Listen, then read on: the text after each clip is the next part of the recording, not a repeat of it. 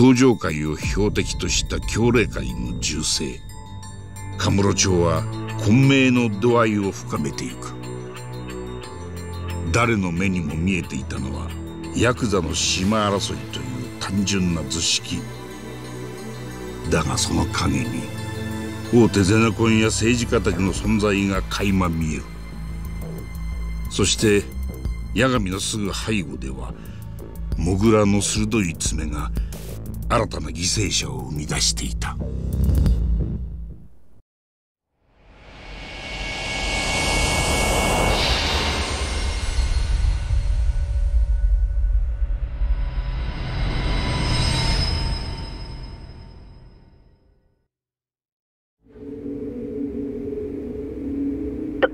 どういうことです？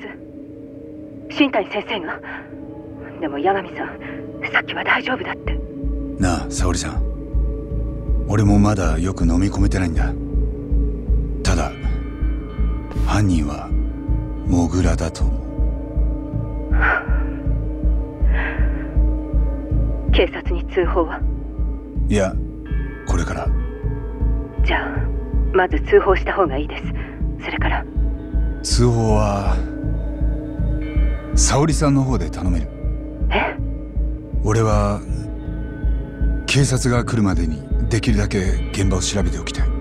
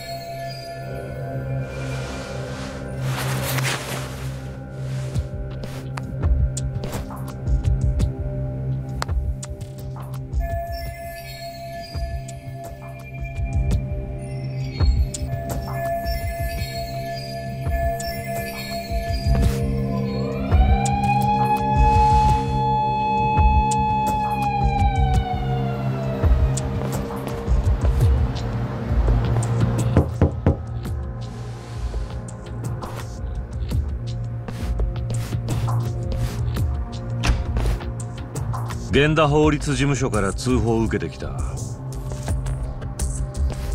いきなりあんたが来るとはね。黒岩刑事。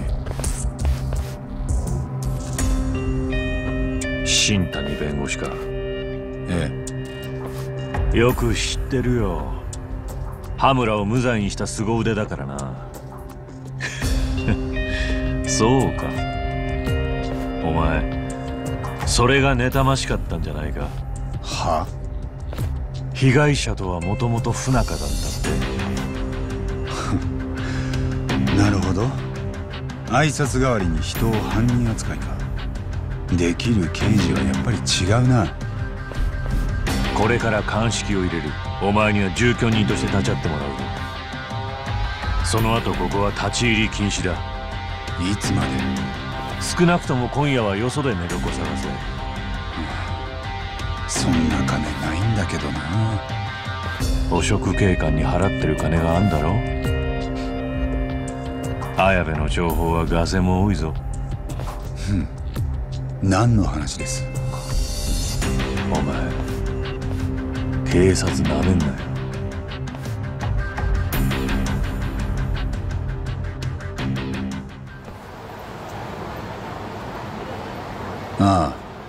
さっきまで警察の捜査に立ち会ってて。源田先生はまだ事務所に？ええ。八神さんから新谷先生の話を聞きたいって。私も同じです。星野君も。分かってる。今からそっちに行くから。じゃあまた後で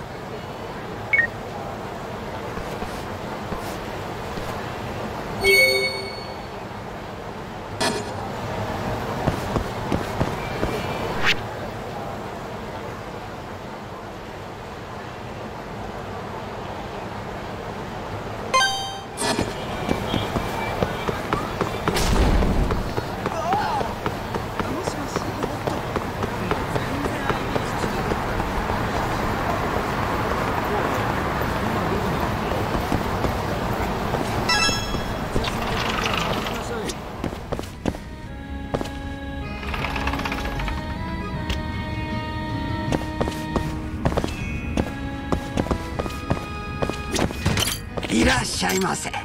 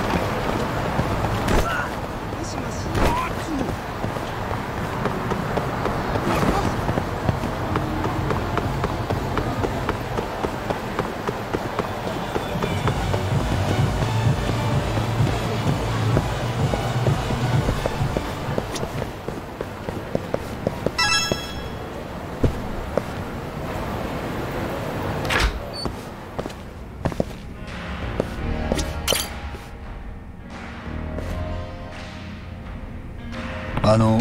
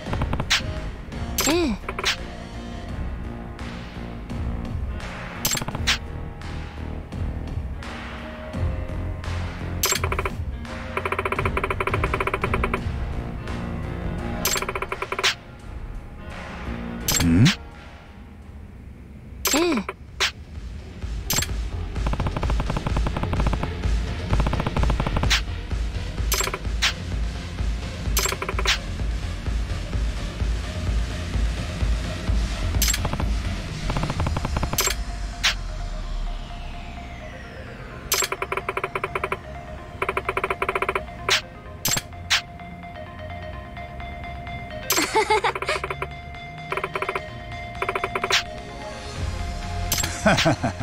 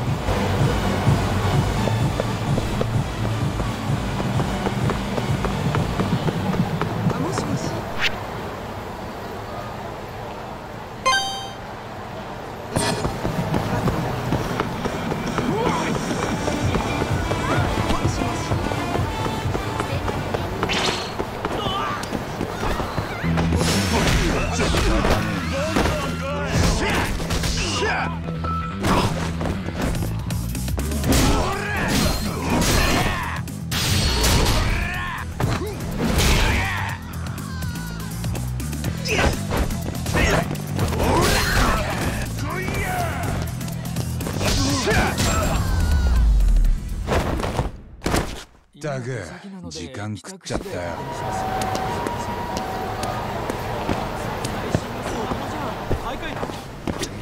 いらっしゃいませ。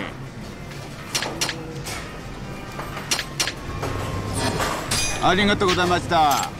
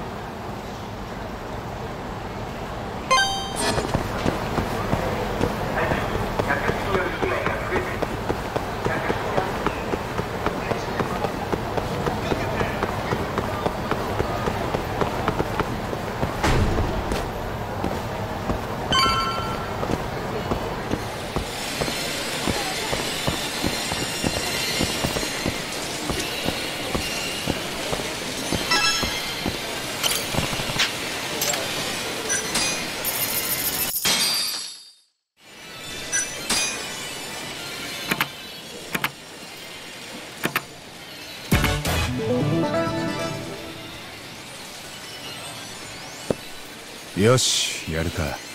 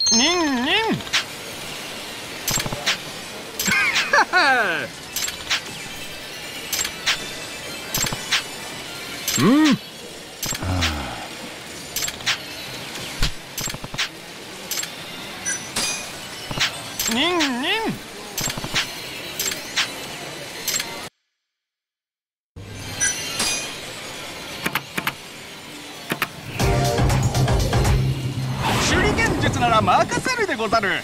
よろしく。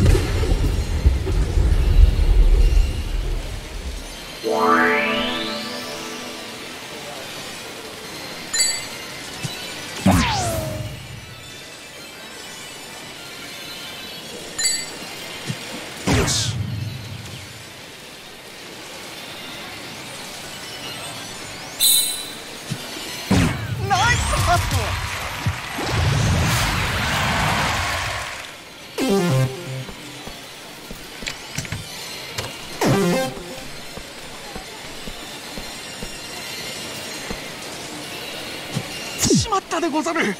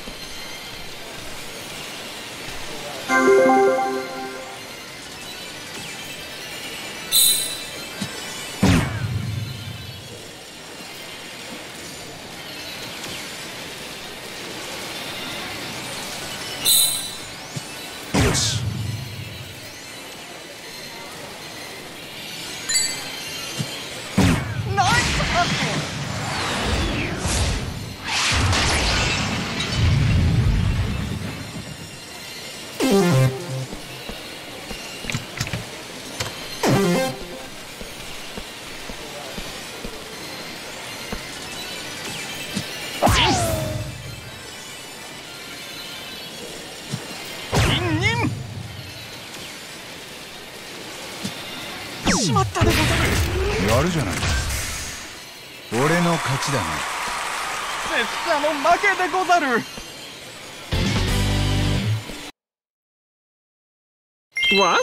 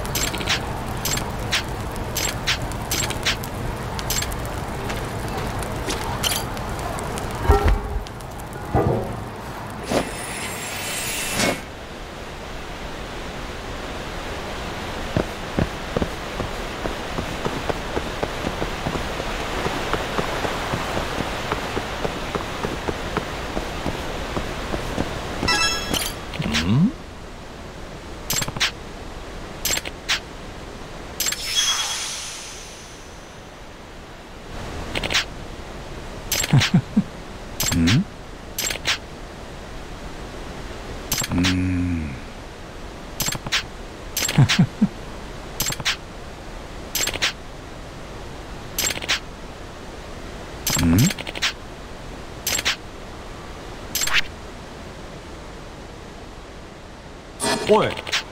おう。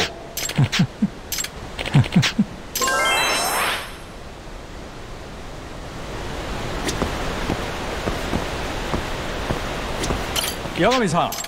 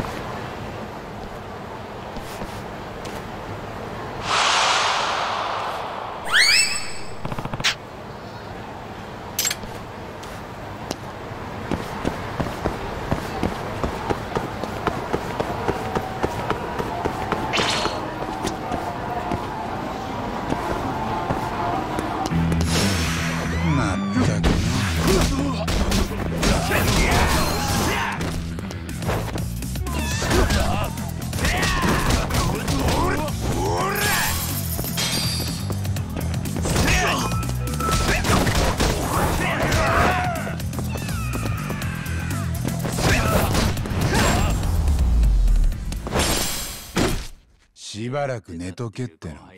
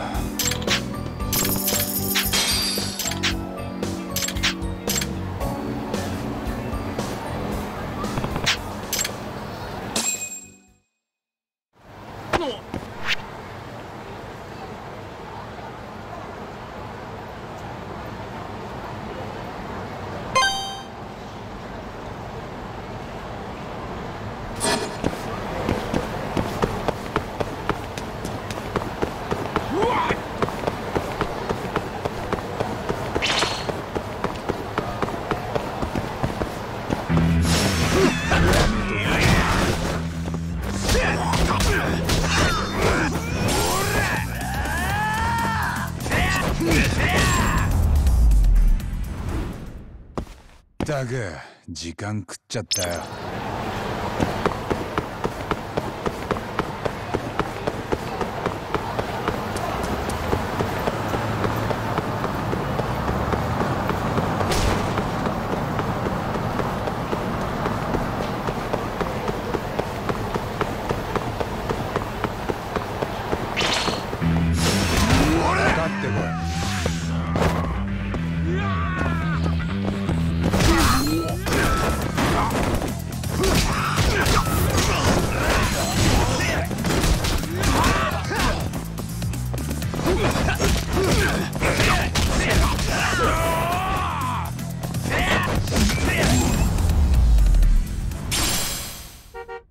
しばらく寝とけっての。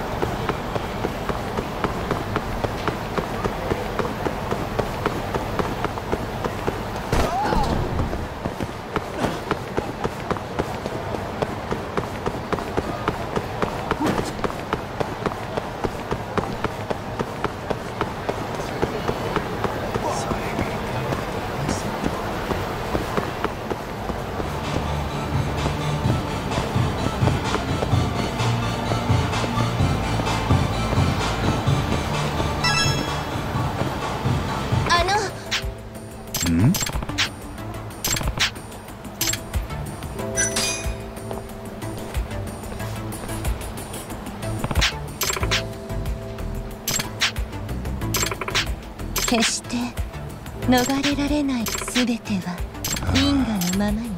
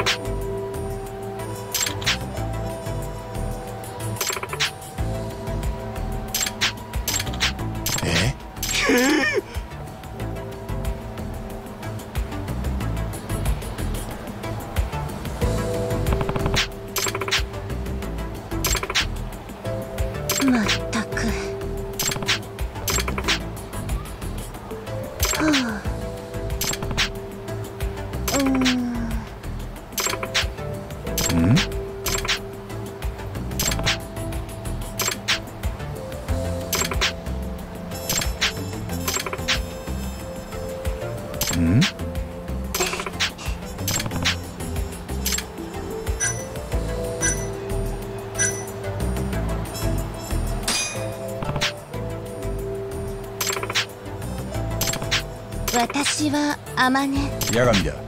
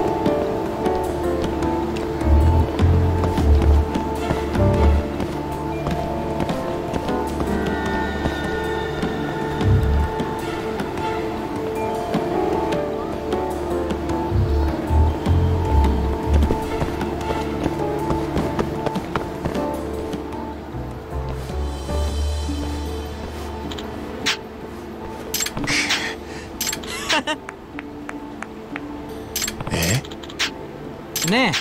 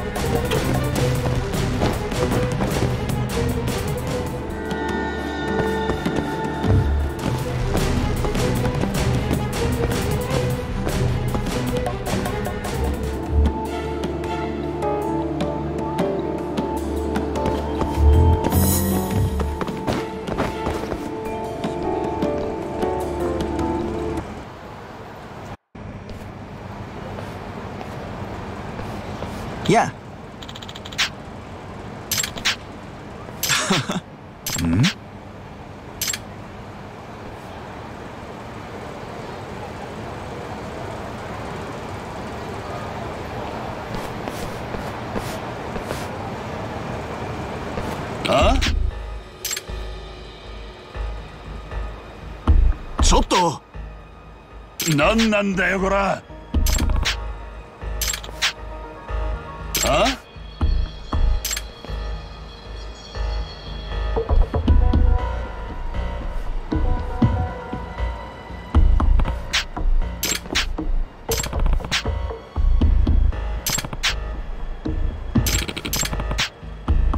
え？手加減しねえからな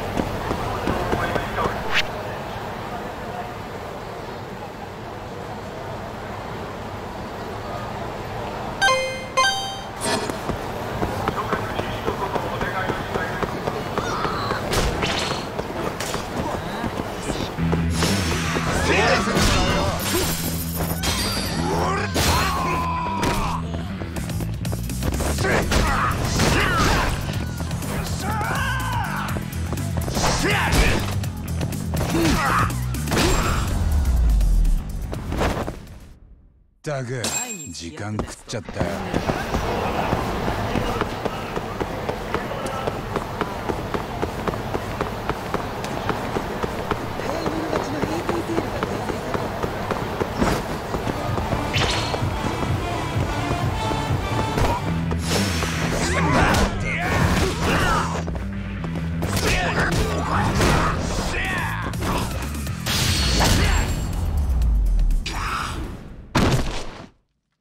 しばらく寝とけっての。え？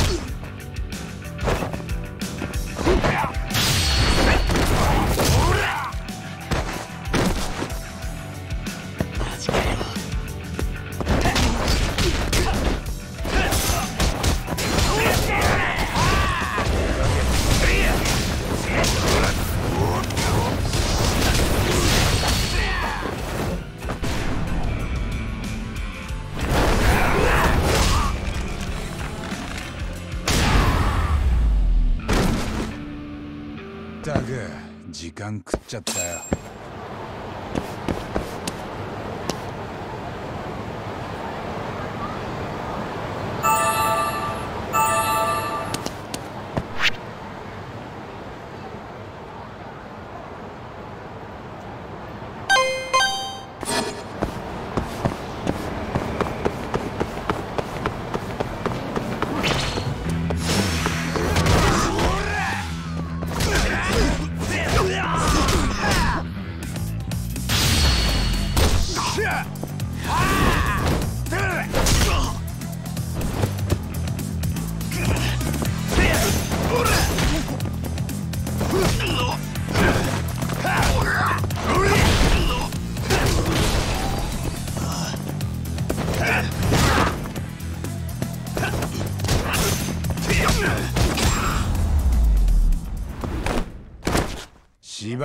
とけって。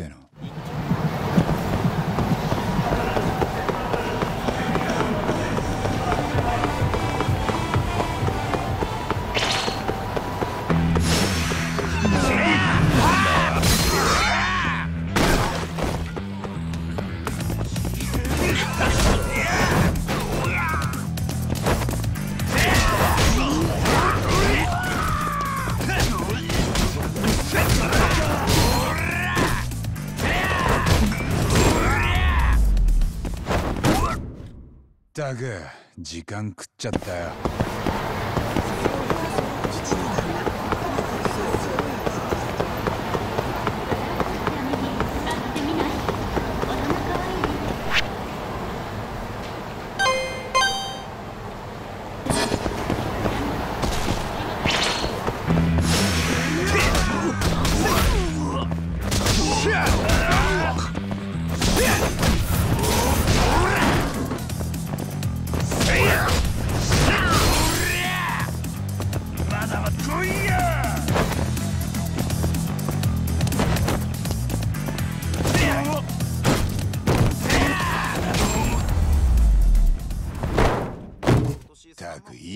しろや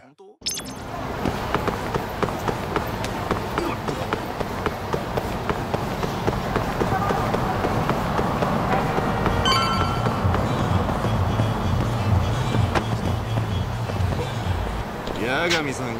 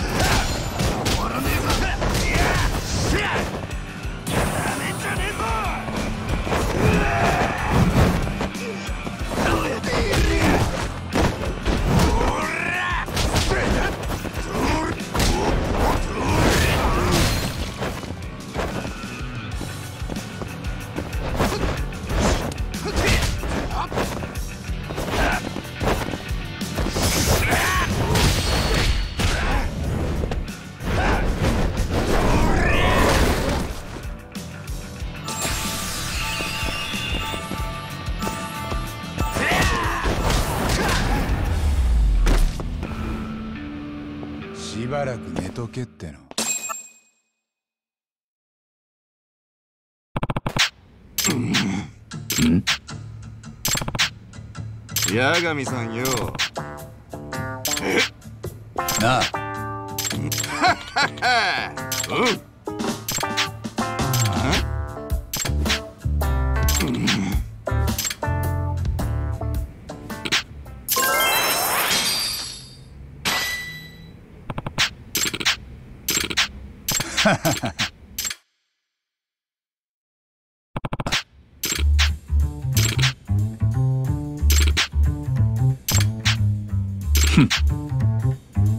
Ha ha ha ha.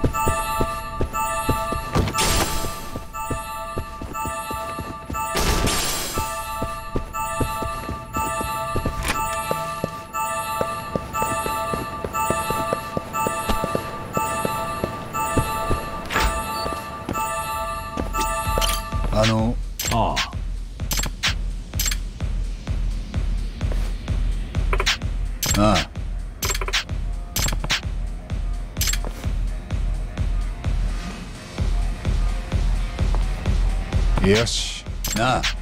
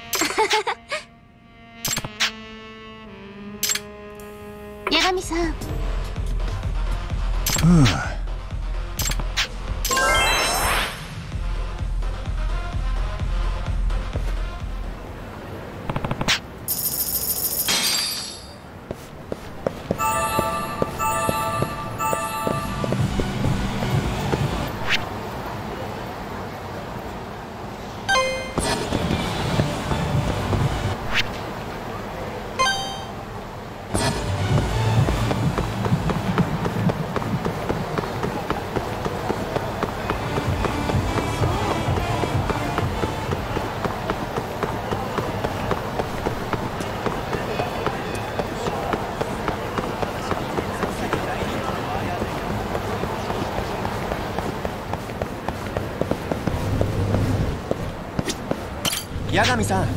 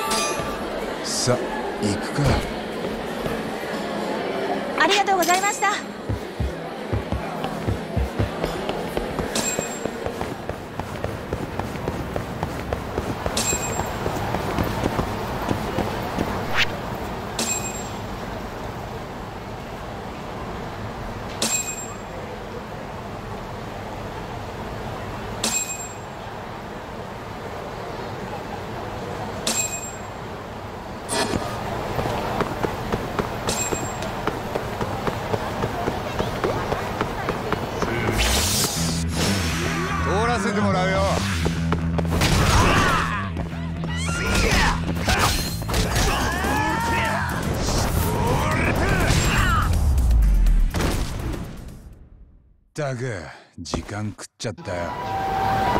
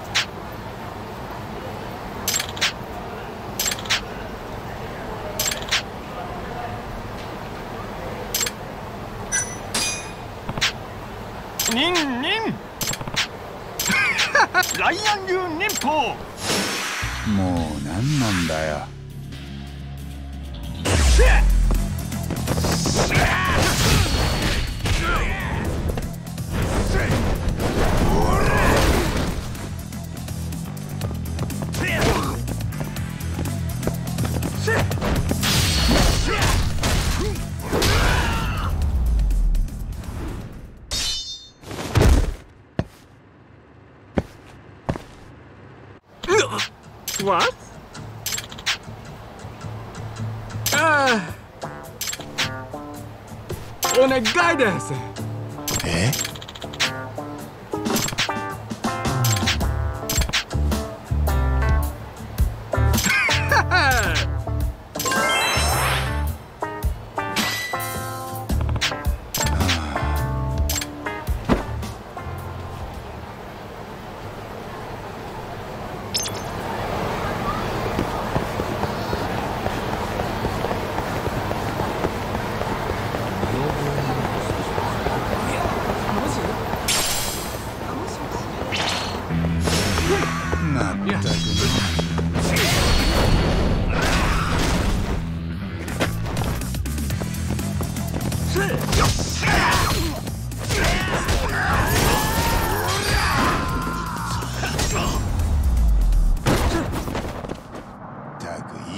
しろよ楽しかったでござるよ。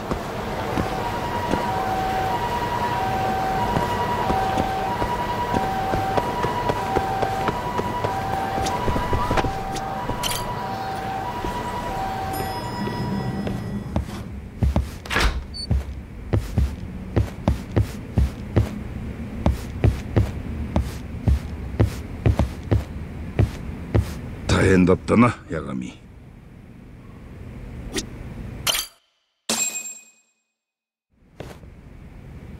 新谷先生と連絡が取れないって沙織さんからそう聞いたんで電話をかけてみました。その着信音がうちのクローゼットの中から聞こえてきたんです。新谷はモグラの手口でやられてました。モグラの手口ってじゃあ新谷先生も目を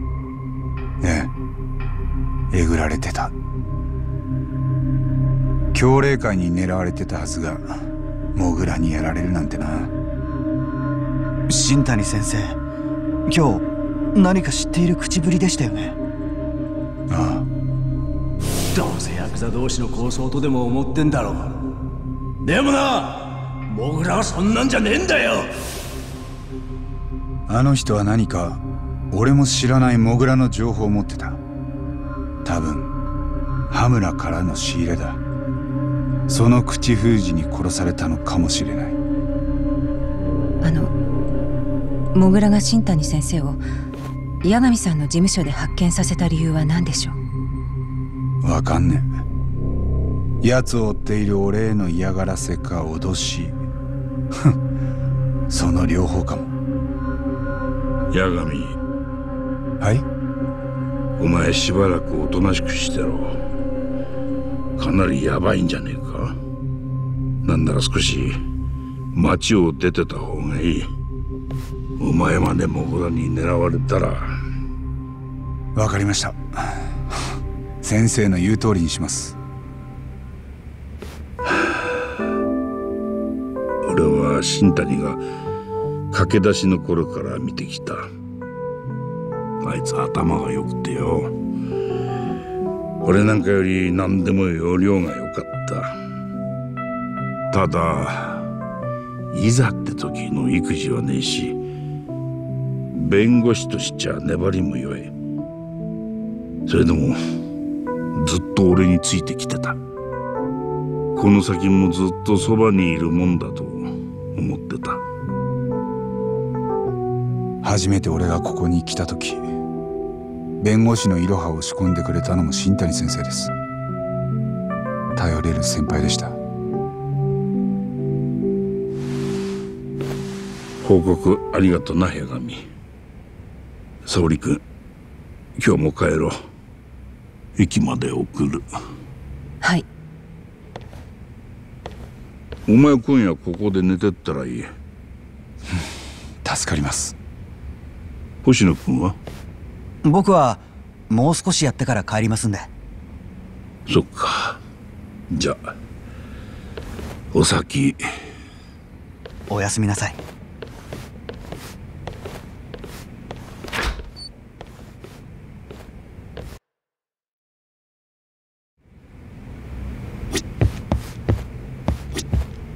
この事務所嫌がもともと僕の方が新参。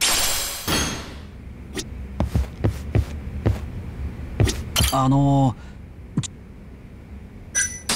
ああ話って。え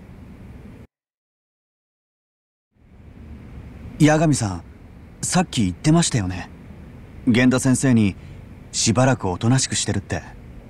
でも本当はモグラを大きでいるんじゃもしそうだとしたら源田先生には黙ってます。ただその代わり。ん？僕もいいですか？一緒にモグラを追いかけても八神さんたちの足は引っ張りません。だから。もしかして新谷の敵討つため？あの人はいつも自分に自信がないのを虚勢で隠して分かりやすい人でした。見た目や態度よりずっと弱かったはずです。羽村の頭とだって好きで付き合ってたわけじゃない。ヤクザなんて怖いに決まってますよ。その結果が今回の事件です。僕はいつも新谷先生のすぐそばにいたのに何の力にもなれなかったんですよね。本当に僕は若造で自分でもまだどんな弁護士になりたいのかさえ分かってません。刑事弁護なのかそれとも民事でやっていきたいのかすら。でも仲間が殺されても知らん顔なんてそんな弁護士になるのだけはごめんです。ですから。いいのか？源田先生はおとなしくしろって言ったんだ。なのに君が俺と動いたら。気にしないでください自分の弁護は自分でできますから。だから八神さんいいですか？僕も一緒に。OK しないと源田先生にチクるんだろええ。申し訳ないですけど。よし分かった。じゃあ早速一つ頼まれてくれ。喜んで。まず殺される前の新谷が何をしようとしていたか知りたい。でそいつが分かるかもしれない証拠があるんだ。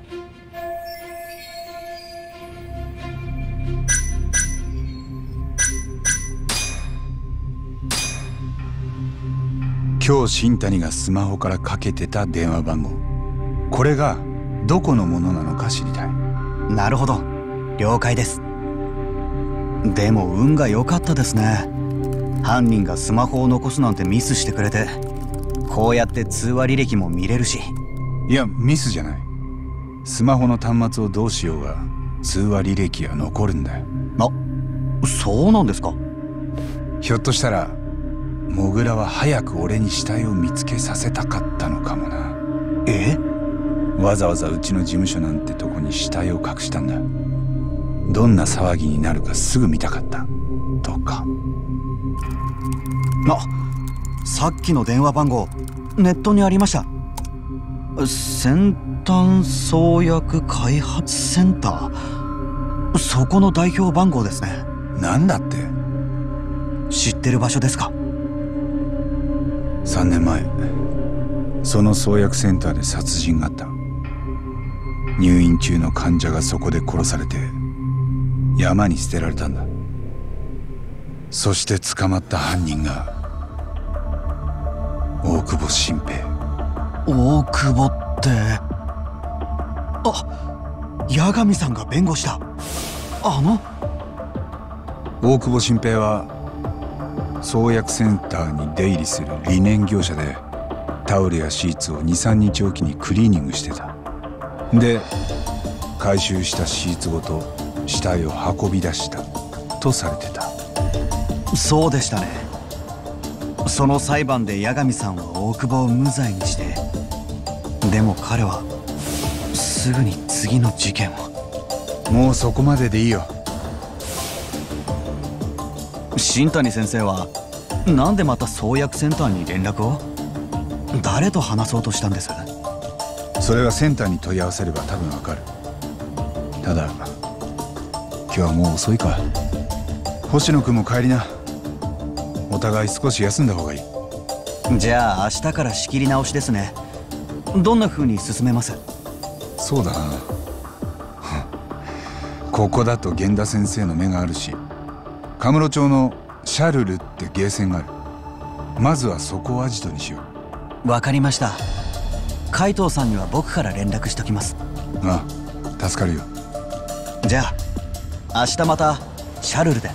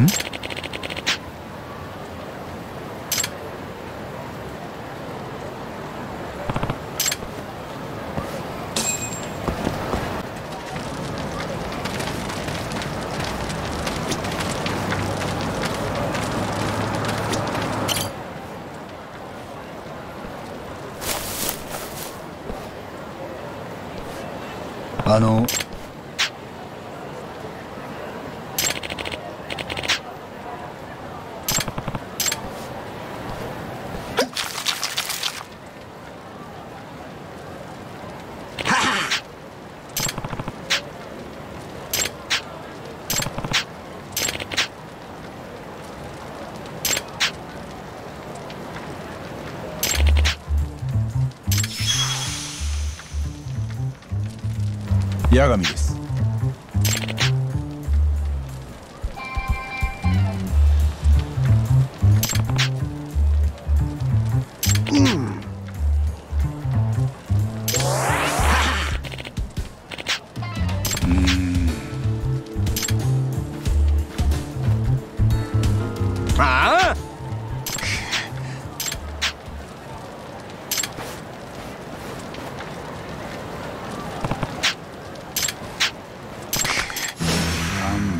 くれよ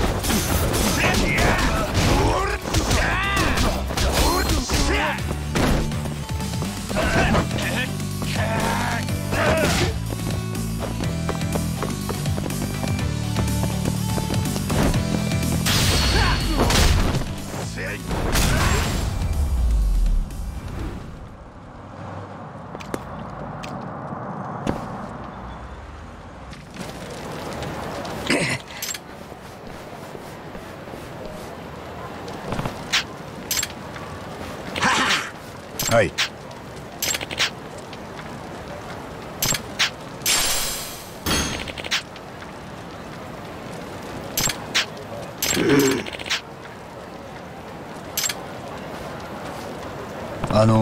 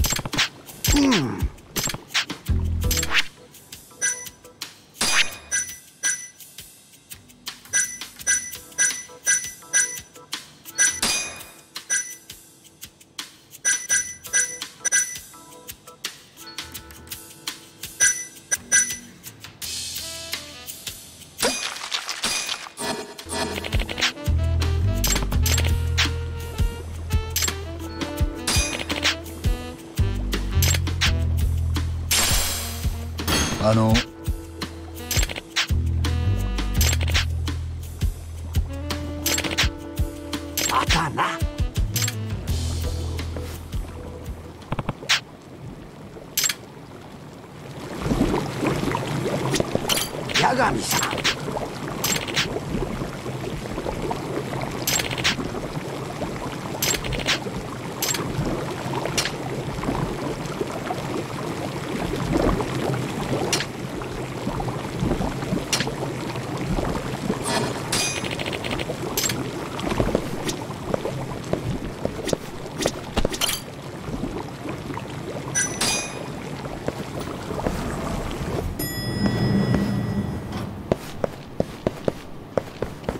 What?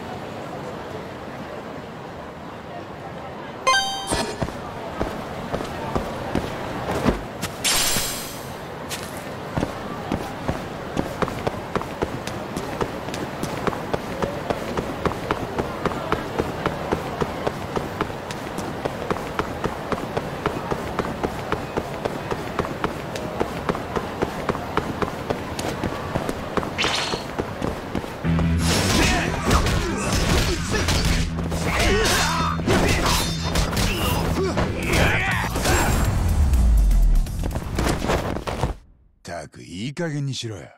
楽しかったでござるよ。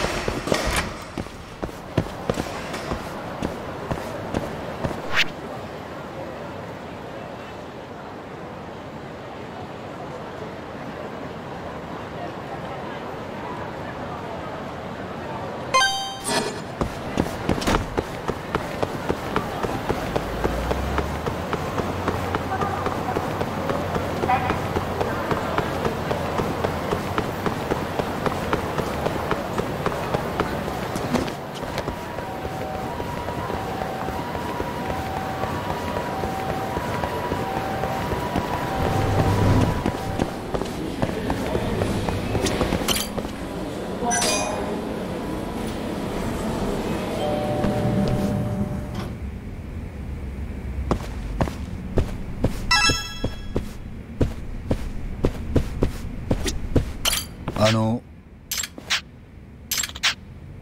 ん？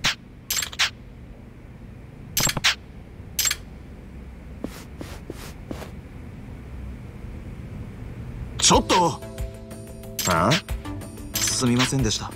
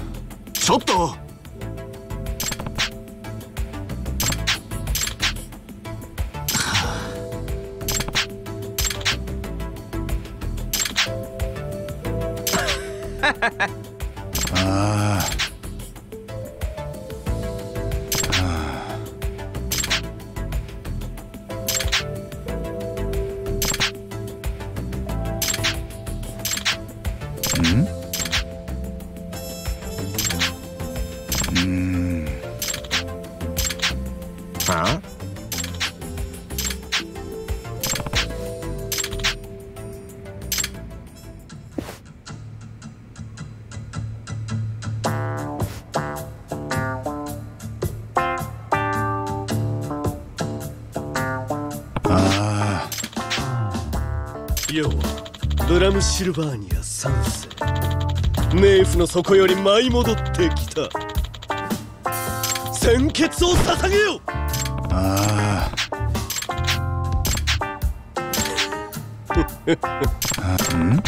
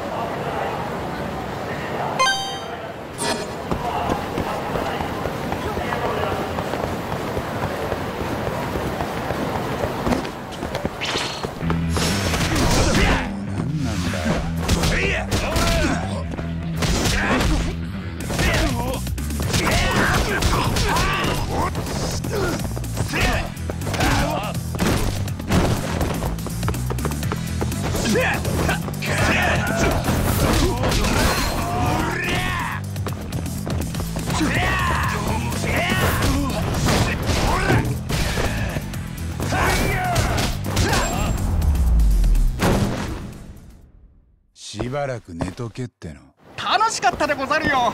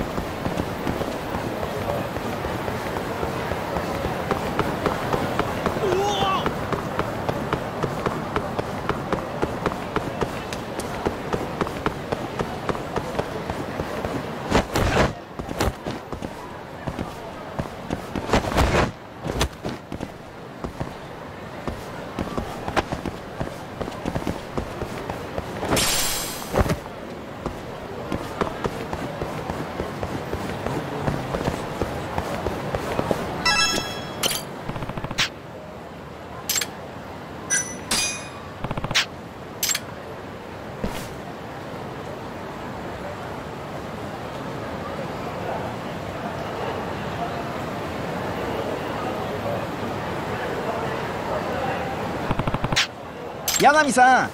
あの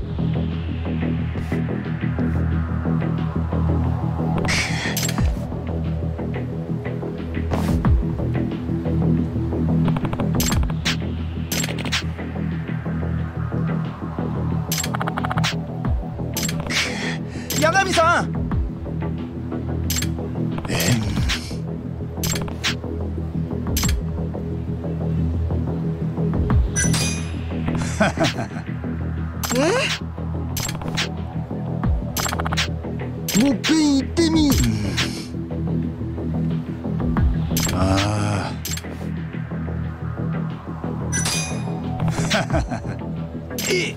Eh.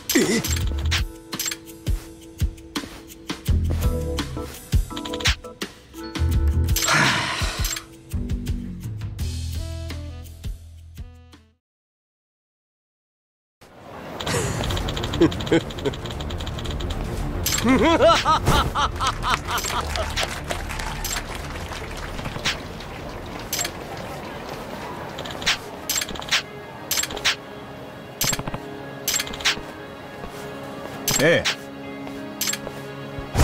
先決を捧げよ!う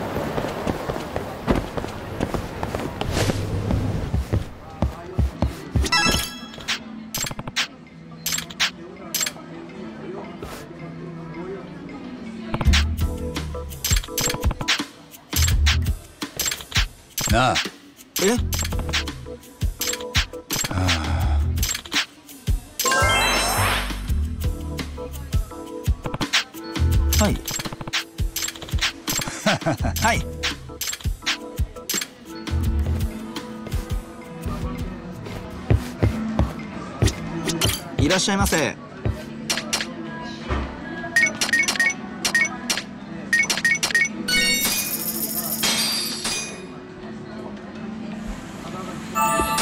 気に入った。ありがとうございました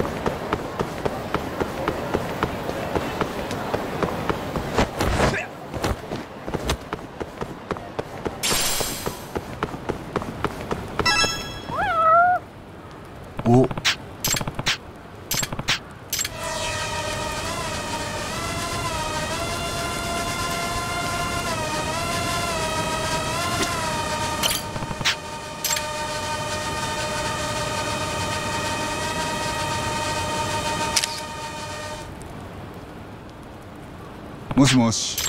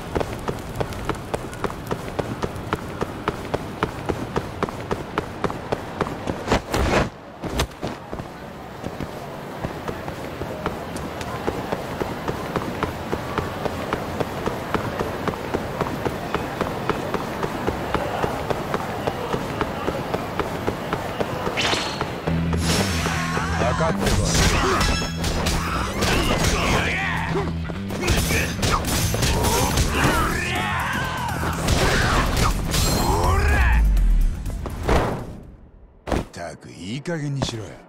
楽しかったでご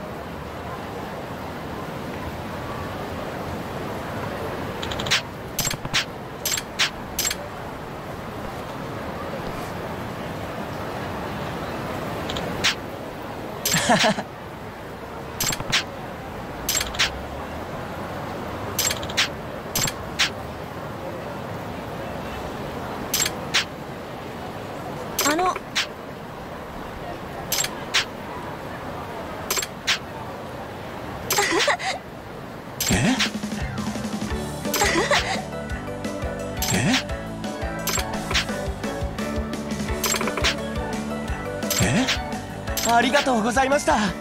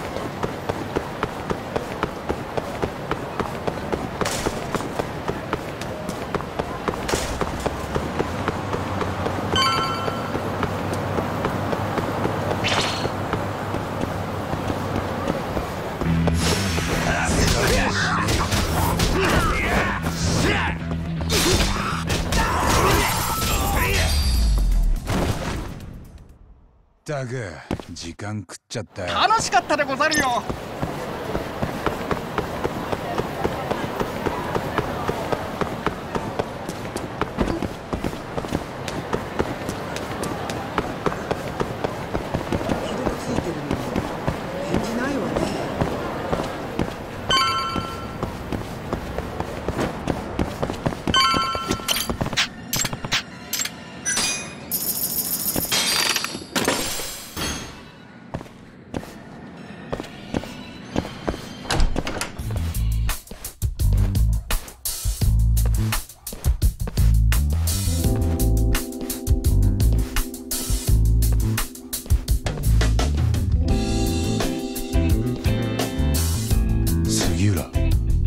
海藤さんに声かけてもらったんです。仲間外れにしないでくださいよ。俺は遠慮なく仲間外れにしてくれていいんだぞ。っていうかなんでここに集まろうとすんだ。でもいい人ですよね東さんって。そう言いながらちゃんと場所貸してくれるんだから。ヤクザなめんなよ兄ちゃん。そうやって凄むとむしろかえっていい人の部分が見えちゃいますよね。ななんだと。へえ。星野くんって見た目より気も座ってんだね。案外腕も立ったりして。一応空手は三段です。え？喧嘩で使ったことはありませんけど。役者は揃ったみたいだな。ああ。そうらしい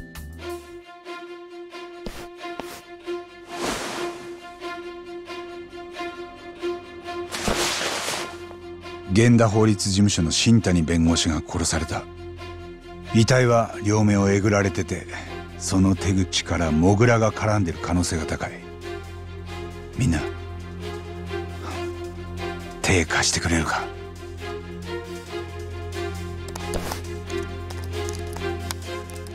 先端創薬センターか。また妙なとこで妙なもんが出てきたな。八神さんにとっては因縁の場所ってわけ？ああ。新谷が殺される直前なぜかその創薬センターに電話をかけてた。創薬センターって去年テレビで騒がれてたね。確かノーベル賞ものの新薬を作ってるとかで。ええ。これですよ。えー、本日は先端創薬開発センターで開発を進めております。アドデック9のあ論文が科学雑誌に掲載され海外を含め多くのメディアの方々にお集まりいただきました。認知症の新薬でアドデック9センター長の木戸博士がその論文を発表したんです。まだ動物実験の段階ですけど認知症の実験マウスをほぼ正常に回復させたと。この笑顔でフラッシュ浴びてるのが木戸博士です。神経脳生理学の世界的な権威でアドデック9論文の筆頭著者。3年前大久保事件の時センターを案内してもらった。その時から木戸はセンター長だったよ今はアドデック9の完成に向けて厚生労働省が予算枠を強化してるみたいですね。創薬センターの建物。今度また一気に増築するようです。景気のいい話だなだがよ。そんなとこにあの新谷がなんで電話してたんだ？それをこれから確かめるんでしょセンターに問い合わせてさ。てめえ人の電話勝手に。まず新谷さんがセンターの誰宛てに電話をかけたかだね。ああ。それを電話だけでどう聞き出したもんかな。そこは腕の見せ所じゃないの？八神探偵。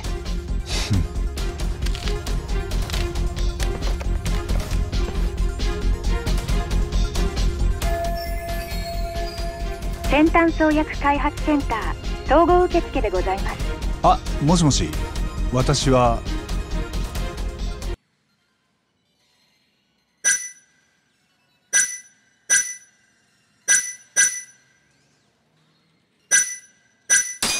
源田法律事務所の弁護士で八神と申します。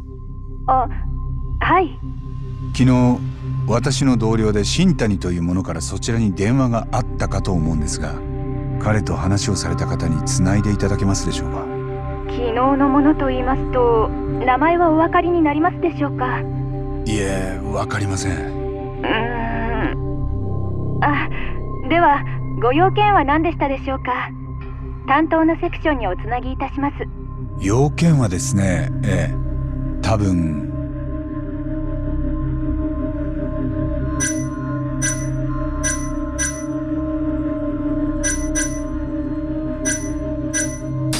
認知症の治療薬についてだったと思うんですけど。それだとちょっと分かりませんが広報におつなぎします。よろしいですか？ええお待ちください。なんかあまりいい手応えじゃなさそうだね。お待たせしました。はい。広報では新谷様から昨日お電話はいただいてないとのことです。そうですか。わかりました。うん電話じゃ難しいな。もう創薬センターに直接行った方が早い。行けばなんとかなるの？俺も一応センター長とは面識もあるし最悪無駄足でも構わないんだから。僕も行きますよ八神さん。ほんじゃ俺は東と松金組の様子でも探っとくか。羽村の頭が消えたままだしな。なんだよ。また勝手にそんな。そういえばさ八神さんが無罪にした大久保新平だっけ？今はどうしてるの？拘置所にいる。死刑囚は刑が執行されるまでずっとそこだ。八神さん面会に行ったりとか？はいや俺は一度も。なんでそんなこと聞くんだ？大久保って実際どんな人だったのかと思って結構ニュースでも騒がれた事件だったから。八神さん大久保を無罪にした時本当はどう思ってたの？マジで無実と思ってた？多分な。でもその後あいつ恋人を殺しちゃったんでしょ。それも八神さんが弁護してたよね。ああ。その時も無実だと思った大久保はそう言ってた。誰も殺してないって。ただ俺はそれを信じきることができなかった。法廷で彼の無罪を主張するたびにずっと吐き気を感じてた。じゃあ大久保は死刑で当然？もうそのくらいで勘弁してやれや杉浦 ちょっと立ち入りすぎた。いや。ならいいけど。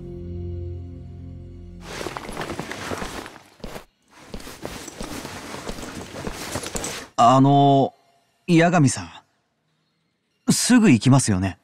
創薬センター。僕先行ってタクシー捕まえておきますから。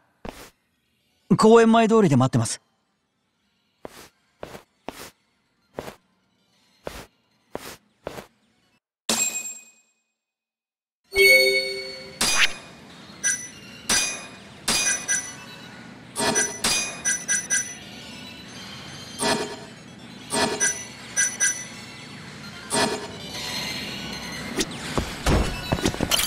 妙な。な。俺は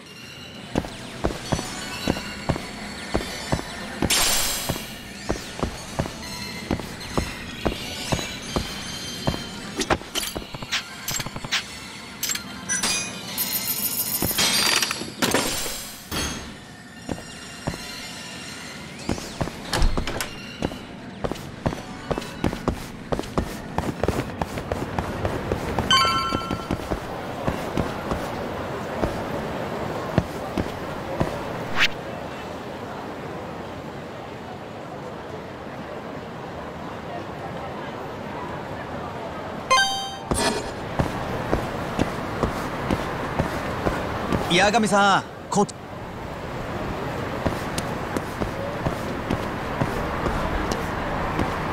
どちらまで行かれますか？それでは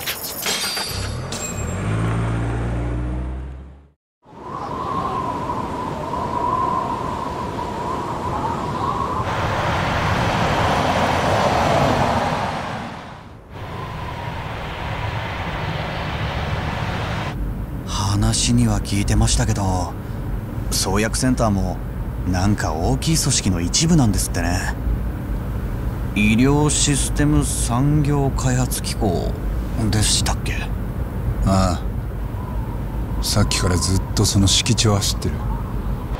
あるとこにはあるんですね。すでにこれだけ立派なのに例の新薬でさらに予算強化ですよどうです？前と変わりないですか？ああ。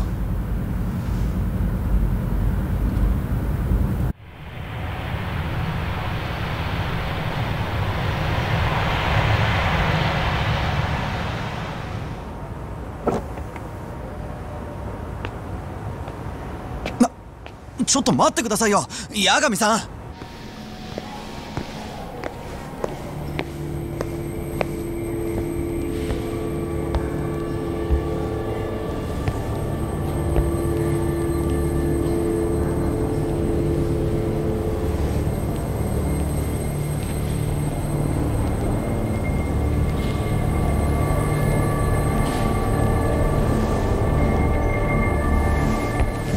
緊張してんだ。お前は俺のお供でいりゃいいんだぞ。八神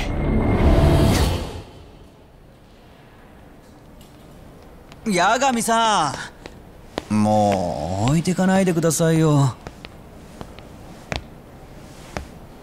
どうかしました？いや3年前と変わってなくてね。はい？ここは時間が止まってたみたいだ。八神さん。行こう。あそこに受付がある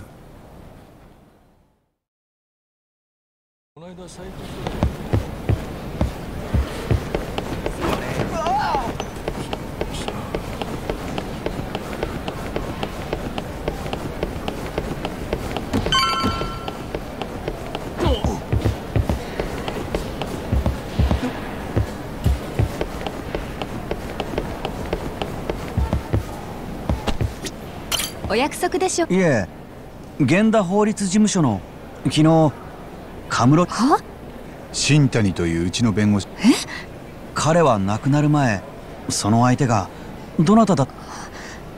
申し訳ござならセンター長の木戸さんと話せますか？以前お会いしたことがあります。弁護士の八神といえばわかるかと。八神さんあれ？木戸さんですよね？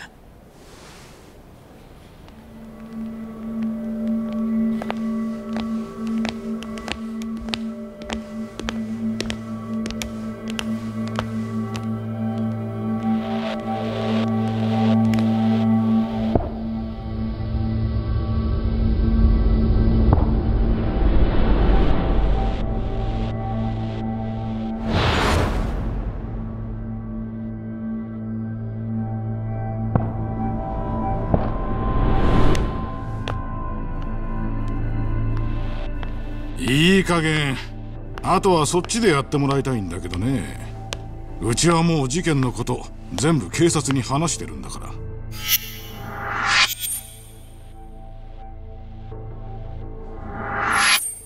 いやセンター長ごもっともなんですがどうしてもこいつが事件の現場を見ておきたいというもんでま手短に済ませますよ。調子いいこと言わないでください。俺は納得いくまでやりますよ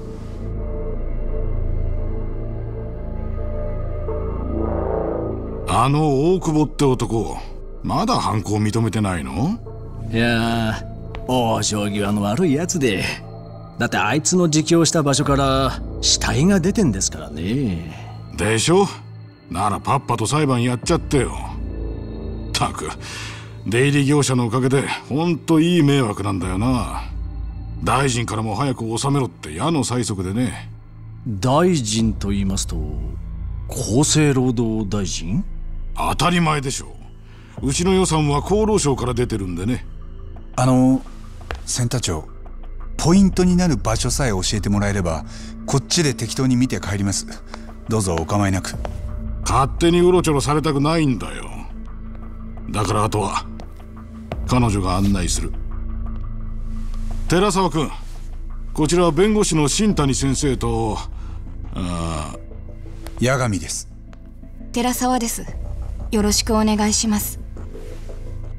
じゃあ私はこれで。ありがとうございましたセンター長。わざわざ申し訳ありませんでした。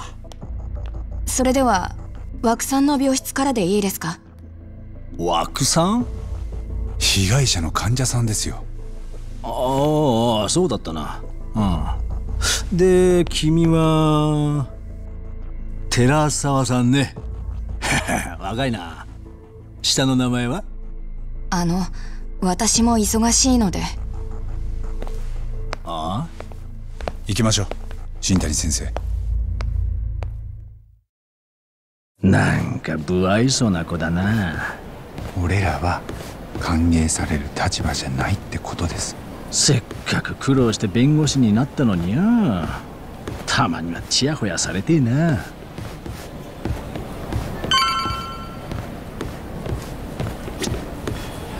少し歩きます。この先がセンター付属の入院棟で4階に枠さんの病室があります。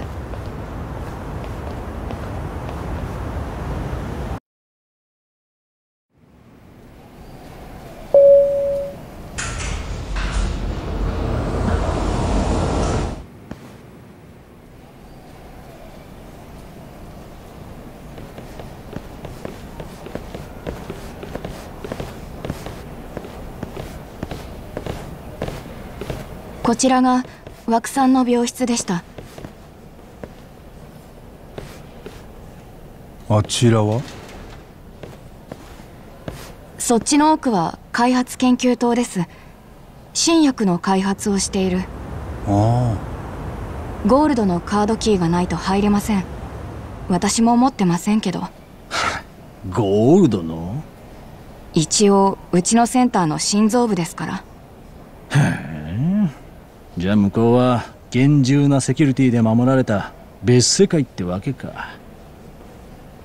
行くぞ八神。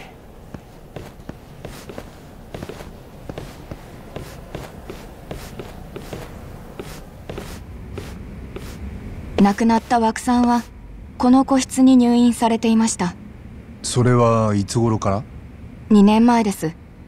アルツハイマーで。認知症ってことねアルツハイマーはいくつかある認知症のたただ認知症の7割はアルツ。やっぱり似たようなもんだろよしじゃあ八神。好きなだけ調べ。うん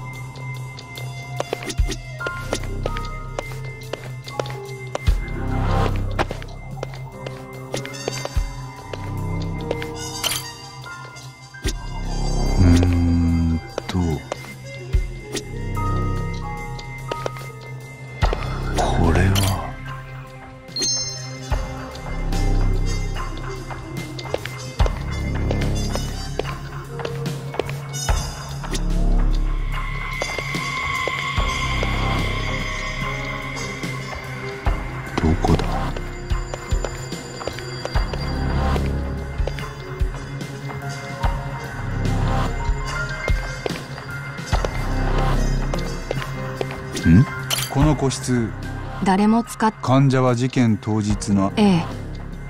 殺害されて私には分かりません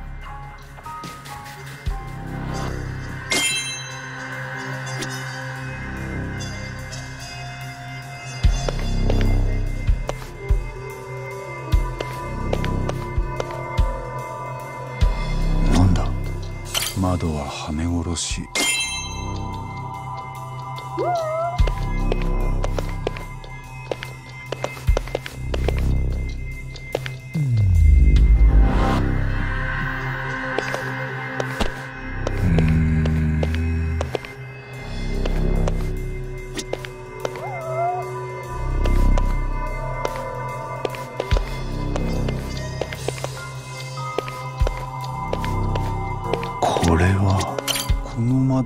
し部屋の中スタッフが少ないので廊下はよく人が歩いてますけど認知症患者の方がほとんどなんで。なるほど。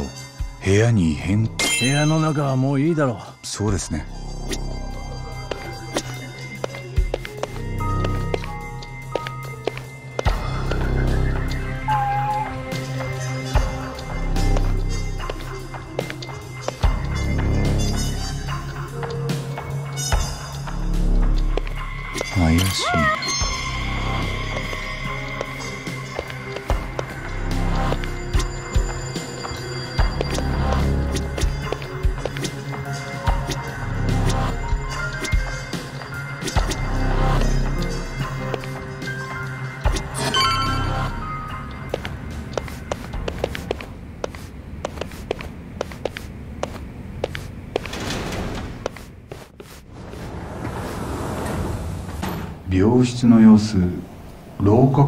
程度わかるか。新谷先生ちょっとベッドに寝てみてくれます？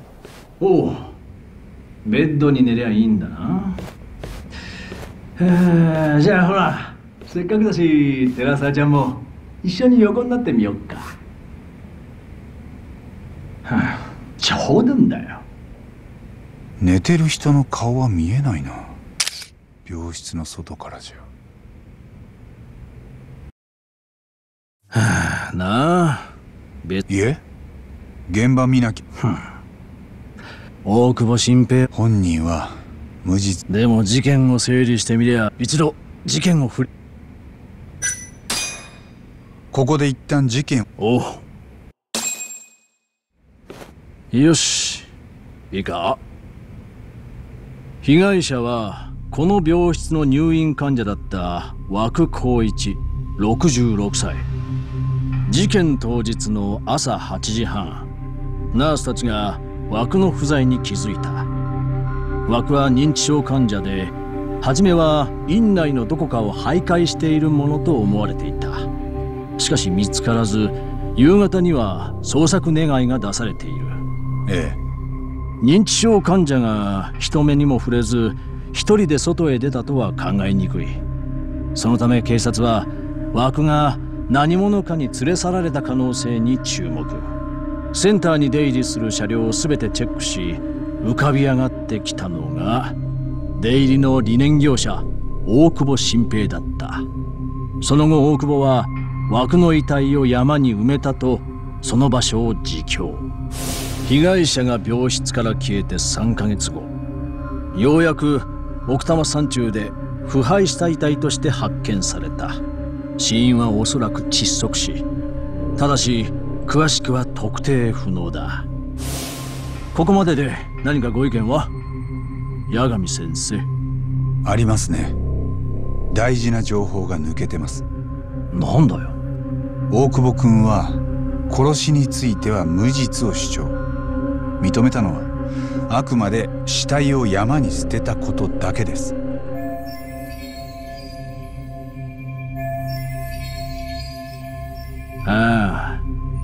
大事なことといえば奴が障害の前科持ちってのもポイントだな。恋人を殴って指の骨を折った。それは6年も前の事件です。酔って気が大きくなってたしまだ10代のガキだった。ガキなら女を殴ってもいいのか？いえ。法律が許しても俺が許しませんね。だろ？ただそれで大久保君が今回も有罪っていうのは乱暴すぎます。事件当日のことを大久保はこう言ってる。病棟からシーツを回収してセンターを出たのが午前10時。その時いつの間にかトラックの荷台に被害者の死体が紛れ込んでいた。ど誰がそんな言い訳信じんだ？だからまず弁護人が信じなきゃ あのなこの後また大久保と接見だろう。そこで無罪は無理だってはっきり言ってやった方がいいぞ。もうここはいいですか？次は大久保のトラックが止まってた駐車場を頼むよ。寺澤ちゃん。資材の搬入口だっけ？事件に絡んでいる場所はあとそこだけだ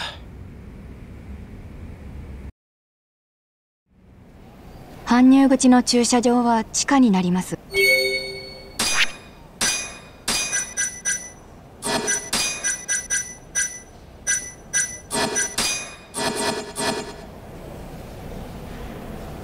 おい行くぞ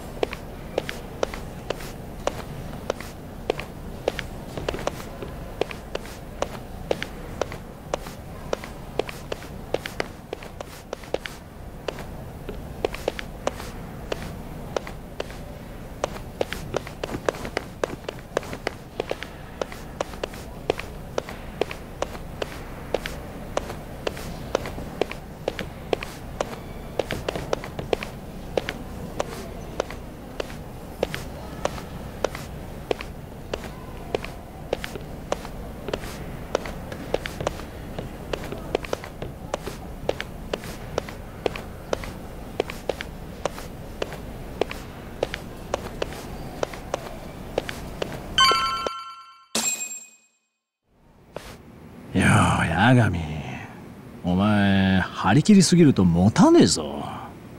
刑事弁護は本当信念っつうか正義感？そういうのが試されんだ。あんま金にもなんねえのによ。なんか人聞き悪いっすよ。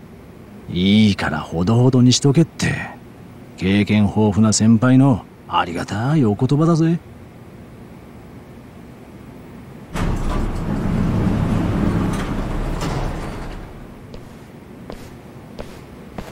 はあ普通の地下駐車場だな。ここ病棟の被害者をトラックへ乗せるとしたら必ず通りますね。そうですね。おう八神。これ見ろ。理念業者がシーツを回収するときはこのランドリーカートが使われる。大久保は事件当日もこいつで病室を回ってた。でこの中になら被害者の死体を隠して運び出すことができる。確かに。事件の日大久保君のトラックが止まってた場所は？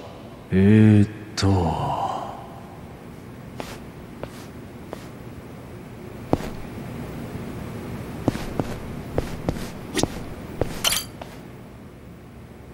トラックはこの駐車場でエレベーター側に尻を向けてたそいつを再現したのがこれだ。なるほど。車両は2トントラック。その荷台から被害者の体液が検出されている。つまり遺体がそこにあったって証拠だ。そいつを突きつけられて大久保は死体の息を認めた。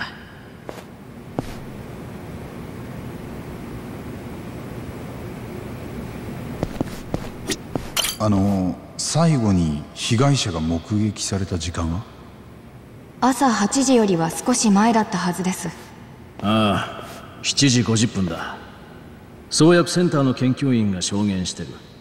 ベッドに寝てたじいさんを見たってな。なるほど。その目撃者から話は聞けますか？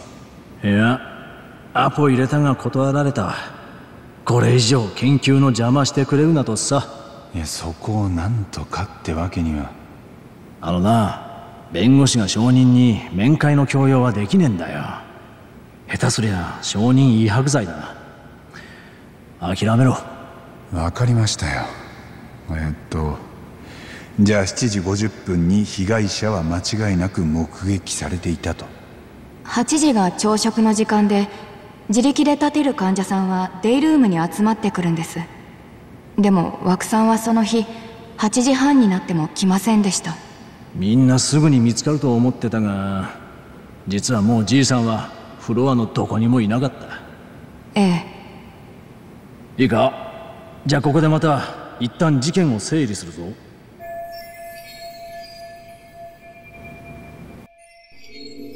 病室からじいさんが連れ出された時刻は最後に目撃された7時50分から周囲が騒ぎ出した8時半までの40分に限定されるその時に大久保は何らかの手段で被害者を窒息死させるとその遺体をランドリーカートへ隠した。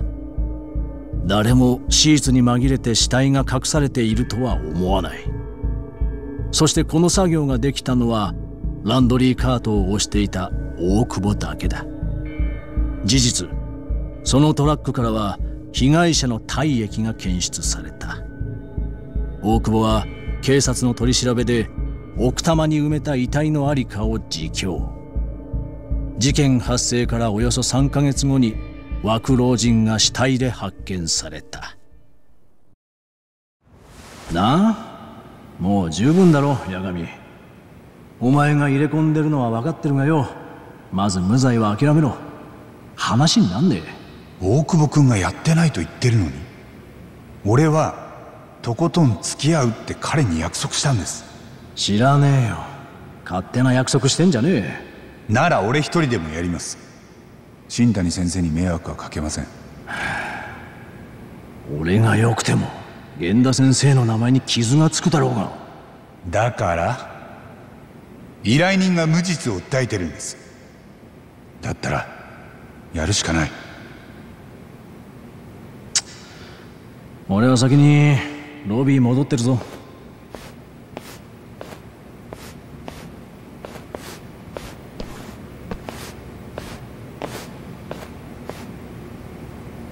あのよかったらもう一度さっきの病室見てから戻りますか？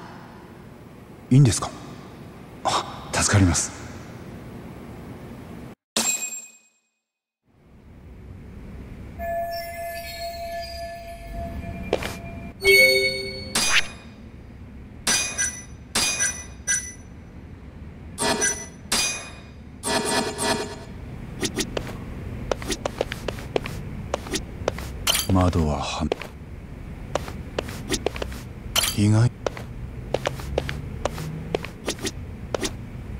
に異変。あの。いえ。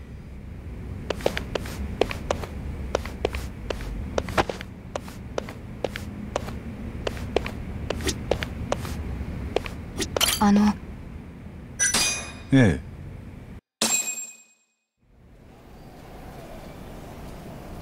大久保さんはどのくらいの罪になるんですか？えもし有罪になったら？うん10年とかもしかしたらもっと。正確な予想はつきません。じゃあもし罪を認めたら大久保さんの刑期は短くて済む？裁判長の心証は良くなります。無罪と言い張るよりは。それでも八神さんは無罪を主張するんですか？負けて一番苦しむのは大久保さんなのに。彼が本当に無実なら勝てますよ。と言っても俺は今回が初めての刑事弁護なんだけどえ？民事だと勝ったり負けたり少し負け越してるかなそうなんですか。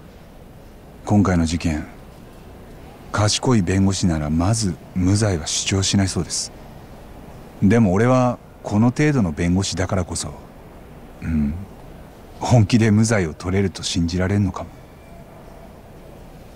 寺澤さんもしかして大久保君と親しい？話をしたことはあります。もちろん。私もこのフロアのナースですから。じゃああなたから見て大久保君はどんな人？ごめんなさいセンター長からは余計なこと言うなって。待った。もし事件のことで何かあれば連絡を。俺は大久保君のために全力で弁護します。でも勝つためにはもっと大勢の力が必要なんです。多分寺澤さんの力も。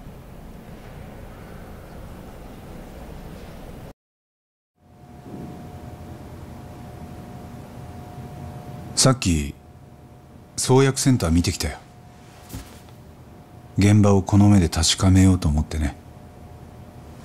それでどうでした？無罪を狙うなら絶望的だよ。おい。八神先生もそう思ってるんですか？俺は大久保君が無罪って言うんならとことん付き合うそれで俺が失うもんは何もないんだ。俺はやってませんよ。真犯人にはめられたんです。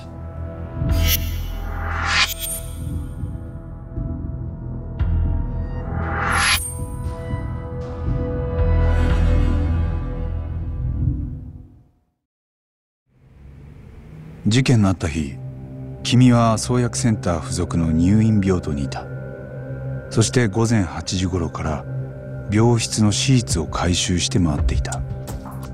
ええ。それは間違いないです。でその時枠さんの鼻と口を塞いで殺しランドリーカートに隠して運び出した。違います。俺が枠さんの部屋に行った時はもう誰もいなかった。俺はあの日一度も枠さんを見てません。分かった。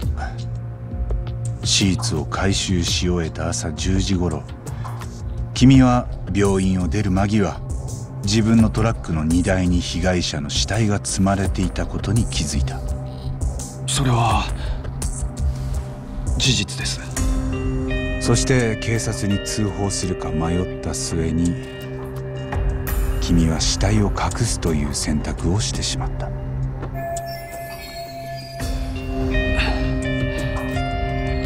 傷害の前科があるから警察は俺を疑うに決まってました。だから。それに枠のじいさんとは前にトラブルがあったんだって？え？トラブルって？急に何の話です？事件の3日前大久保君はじいさんから財布を盗んだと言って殴られて創薬センターで聞き込んできたよいつそんな話を。お前が寺澤ちゃんと2人でいた時にな。これでもちゃんと仕事してたんだよ。俺は。それより大久保君本当に枠さんの財布を。違うんだよ。物取られ妄想って言うんだってな。認知症の症状で大事なものを盗まれたと思い込んじゃ周りを責めるらし。いほん。と手間かかって大変だよな。身に覚えもないのにいきなり泥棒呼ばわりだ。ショックだったろで君はじいさんに殴られて危うく殴り返すとこだった。でも殴らなかった。だから後日殺したんだろ俺はそんなことで人を殺したりしません俺も無邪気にそう信じられたらいいんだけどな。大久保君女を殴った前があるし。どこかに真犯人がいるんですよ。そいつが俺をはめたんです。俺じゃない。犯人は別にいるんだよ。そいつはどっかで俺らを見て笑ってるんだ。落ち着け。八神先生は俺が無実だって信じてくれますか？信じてるよ。じゃあ次からは一人で来てください。安心しろ。邪魔者はもう来ねえよ。あとは八神先生に任せた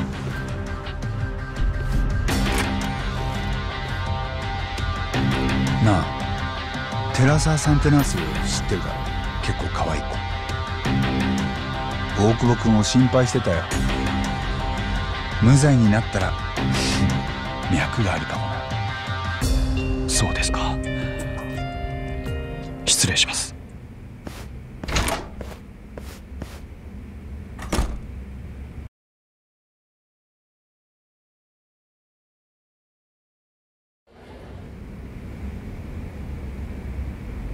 新谷のやつ。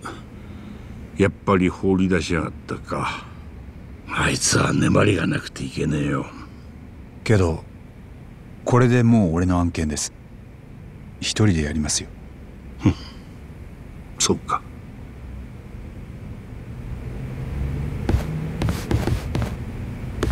八神さん。ん？最近真冬とえ？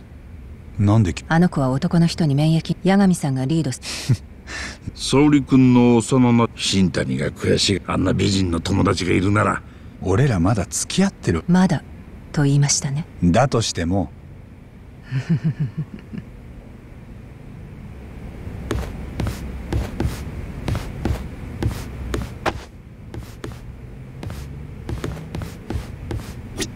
もうそっとし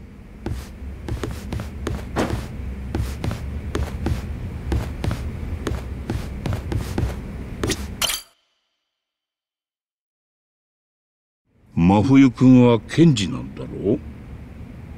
弁護士と付き合うとかありなのか？だからほっとけって。まあまずは大久保新平の件か。無罪を主張する方針で行くんだな。そのつもりです。かつ目処はついてんのか？なんか突破口はあるんだろう。まあ一つだけ掘り下げたいと思ってる証拠があります。おおそりゃなんだ？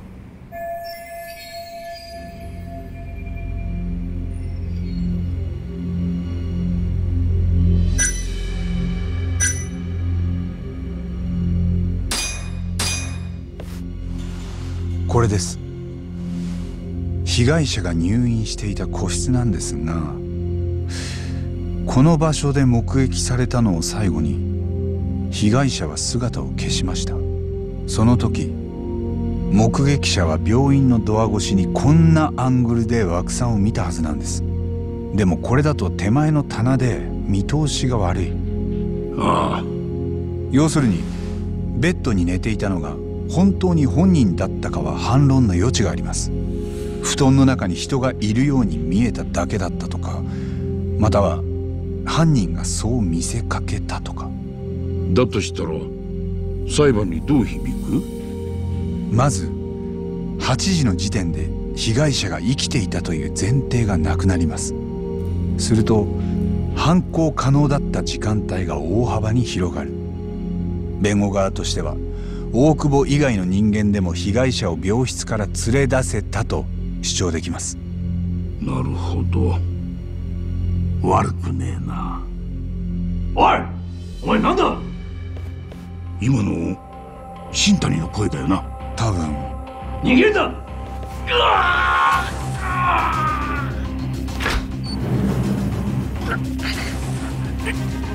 今のやつがうちを盗み聞きしてて。盗み聞き？ああ。でいきなりスタンガンを押し付けてきやがってよ。おい！待て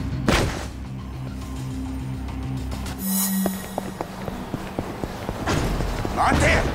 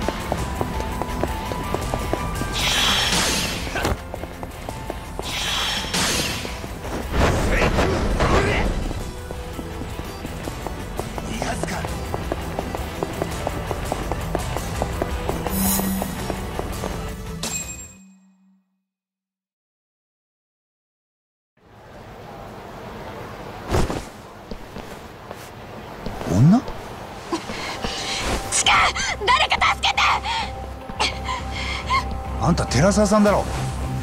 違うか。話して。こんな人前で堂々と痴漢かよ。クズ野郎。てめえをおもちゃにしてやんぞ。おら。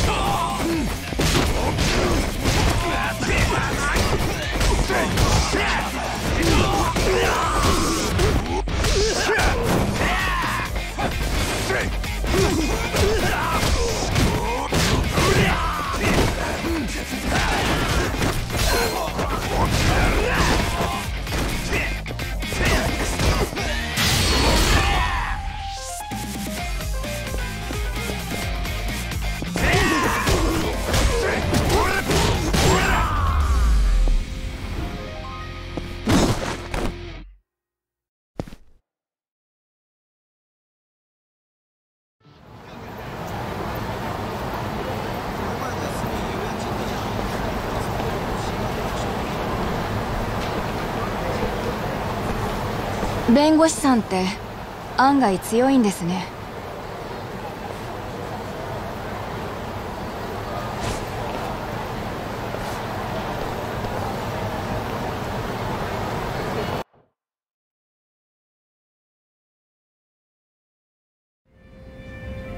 別に俺から逃げることなかったろ。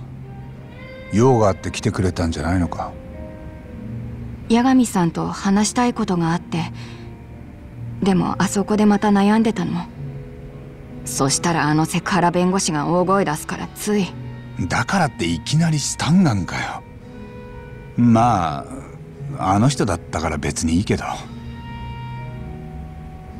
話すだけなら悩む必要なんてないんだよ。どんな内容でも秘密にしたければ黙ってる。安心しな。弁護士の守秘義務ってやつだ。枠さんを最後に見た目撃者がいますよね。病室で寝ているのを見たって。あその証言をするの生野さんっていう人なんです。先端創薬開発センターの科学者でセンター長の右腕この人が生野ええ真面目な人だからナースからも信頼されてでも証言する内容を聞いたらちょっと引っかかることがあった。どういうこと？生野さんが本当に枠さんを見たのかなんか怪しいっていうか嘘をついてるってことじゃないの。ただちょっと勘違いしてるんじゃないかなって。他のナースも多分みんなそう思ってると。そんな話今まで全然出てなかったなだって研究棟の先生にケチつけることになるでしょ。ナースの立場じゃやっぱり言いづらいと思う。おまけに裁判で証言なんてことになったら。寺澤さんも証言まではできない。ううん。私はもともと職場でちょっと浮いてる方だし。それに。ん？大久保さんは無実だと思うからへえそっか。やっと俺にも味方ができた。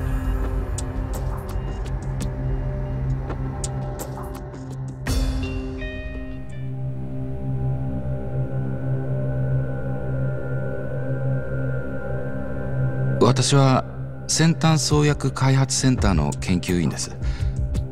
センター付属の入院棟ではさまざまな新薬の臨床試験が行われてましてそれで事件の日もいつも通り患者さんたちの様子を見に行ってました。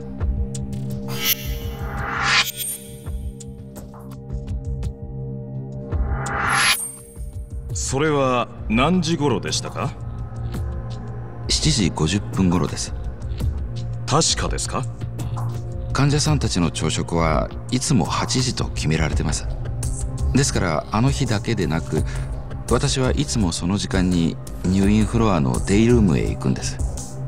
デイルームというのは？ええ。自力で立てる患者さんは各自の病室ではなくそのデイルームで朝食をとります。そして私はナースが食事を介助する脇で患者さんたちから体調や薬の感想を聞き取るんです。生野さんはそこへ向かう途中被害者の病室を通りかかったわけですね。はい。その時に枠さんの姿を目撃された。はい。どのような状況で枠さんを見られたんでしょうか？病室のドアには窓がついていて廊下からも覗くことができます。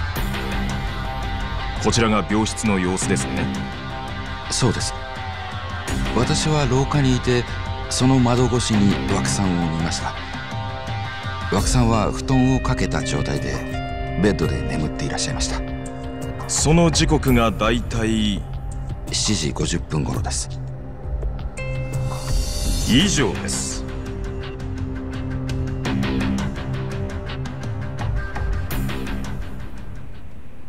八神先生。今更だけどなんであの子が証人に？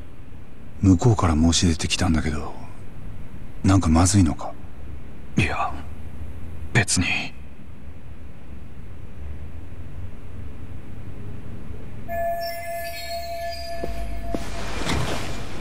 寺澤さん先ほどの生野さんの証言は聞かれてましたよね？はい。聞いていてどう思われました？科学者として正確な言い方をしてないと思いましたそして医者としても患者に向き合っていなさすぎると思います。もう少し具体的にお願いできますか？生野さんは枠さんが病室で寝ていたと言っていました。でも廊下の外からそれを確認することはできなかったはずです。今の寺澤さんの証言を示す証拠があります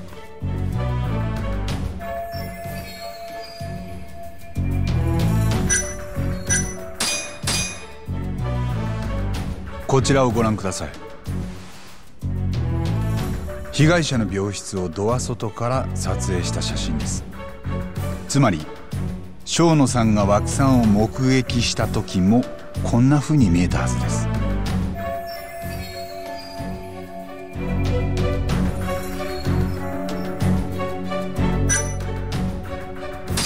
生野さんが被害者の枠さんを見たという証言は嘘でした。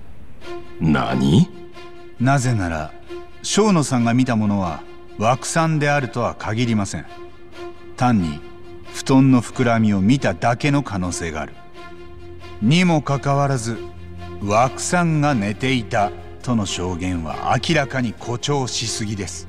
そうでしょうか。常識的に考えれば枠さんが寝ているとしか。私たちナースは患者さんの状況を見る際には必ず入室します。枠さんのこの病室の場合廊下から室内を覗き込んだだけでは何も分かりません。以前布団の膨らみを見て患者さんがベッドにいると思い込んでいるとデイルームでお食事中だったということも実際に何度かありました。その時は布団の中に枕が入り込んで人がいるように見えてしまってたんです。ここは大事なところです。検察は被害者が病室から運び出された時間を生野さんの証言により7時50分頃から8時半までとしています。そしてその間枠さんの遺体を隠して運べたのはランドリーカートを押していた被告人しかいなかったと。しかし生野さんの証言が正確でないなら例えば犯人は前日の夜人目につかない時間に枠さんを連れ出すこともできます。そしてその後隙を伺って被告人のトラックにその遺体を隠すということも。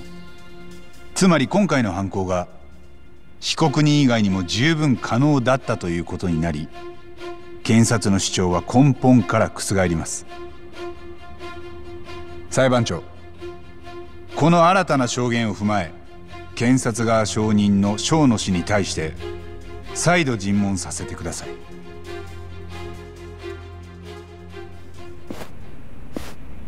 正野さん。はい。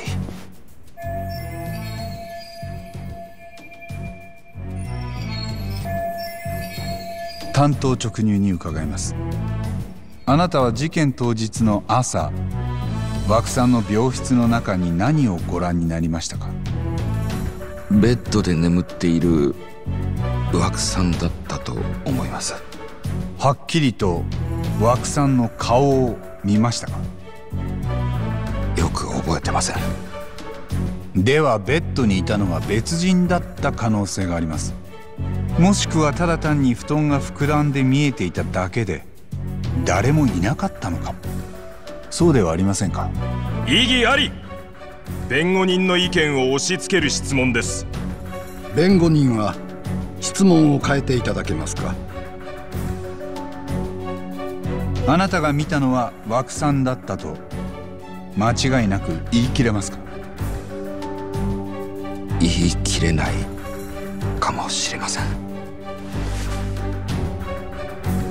尋問は以上です。がここで一つ検察に申し上げます。は？被告人は犯行がわずかな時間帯に行われたという前提のもとただ一人の被疑者として起訴されました。しかし正確性に欠ける目撃証言が崩れた今犯行は被告人以外の人物にも十分可能だったと考えられます。そこで検察は控訴取り消しはお考えになりませんか？もうこの裁判自体が時間の無駄にもなりかねませんので。検察は目撃証言が崩れたとは認識しておりません。些細な点で記憶が曖昧だとしても証人が被害者を目撃したことは間違いありません。それでは正確性に欠けると思いませんか？善とある若者を殺人という罪で裁くこの場で正野氏の証言は完全に信頼できると言えますか？正野氏は誠実な科学者です。幼い頃に認知症のおばあ様の姿を見て育ちその特効薬を作ろうと苦学の末に先端創薬開発センターで指折りの科学者にまでなった。日夜研究しそして患者をいたわる気持ちから日々巡回していたことで今回の目撃証言につながったんです。その証言を完全に信頼できるかと聞かれれば間違いないと答えるほかありません。すると検察はこれまでもこれからも正野さんが言うことなら何でも頭ごなしに信じるとそういうわけですか？証人の肩書きを信頼しすぎて証言への裏付けが不十分だったのではありませんか？証人の肩書きに左右されることはありません。検察は DV の前科を持つ被告人の証言にさえ聞く耳を持っています。6年前被告人の当時の恋人は指を骨折させられ今も後遺症が残っています。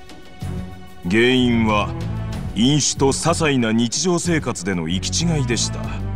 一方今回被告人は事件のあった数日前に被害者の枠さんから財布を盗んだと疑われ顔をはたかれています。このことは異常者と言えるほど激しやすい被告人が犯行に至った動機として十分に考えられる。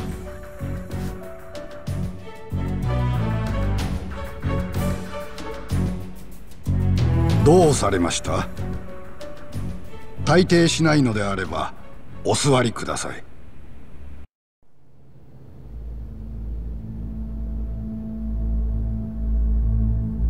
寺澤さん？大久保さんは異常者じゃありません。6年前に暴力を振るってからは一滴もお酒を飲んでません。勝手な発言は控えてください枠さんに殴られたことも認知症の症状の一つと理解してました。だから恨みなんてしない。それが殺人の理由なんて考えられない。寺澤さんもういい。大久保さんにだっていいところはいっぱいあります。今すぐ退廷を命じます。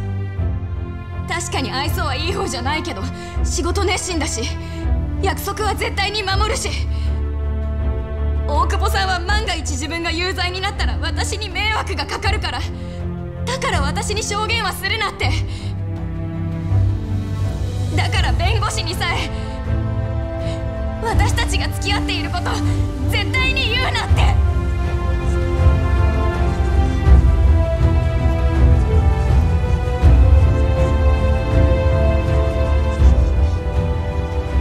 自分が刑務所に行くかもしれないのに。私の将来を一番に考えてくれる人なんです。そういう人なんです。そんな大久保さんを異常者と呼ぶ検事が本当に聞く耳を持っているんですか？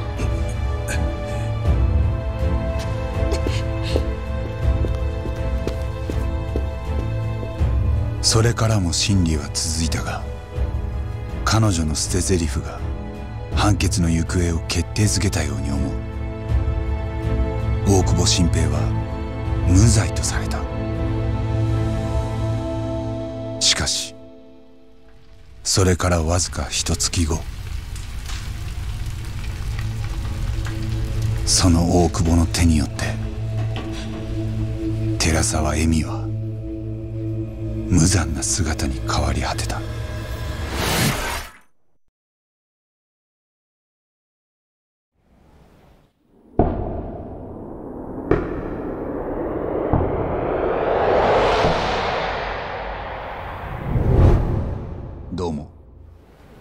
どうしました？いえ何でもありませんよ事務次官。しかし。3年ぶりにお会いします木戸さん。今もセンター長でいらしたんですね。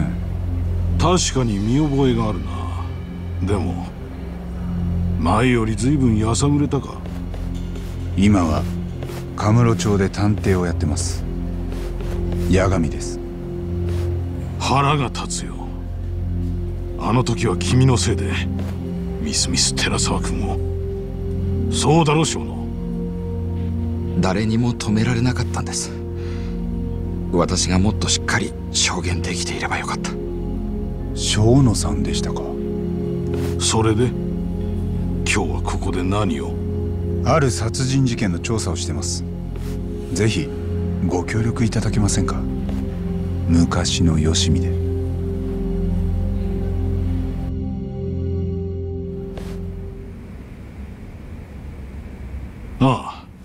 そういうことか。分かった。ご苦労さん。確かに新谷という弁護士からうちに電話があったようだ。彼が電話をした相手は？小野だ。さっきの。あの小野さんですか？まあ結局何の用だったかは分からずじまいだがね電話があった時小野は席を外していたしその新谷さんも伝言は残さなかった。でも何か心当たりは？さあ小野は新谷さんと面識がないと言っている。だから電話が来た理由もわからんと。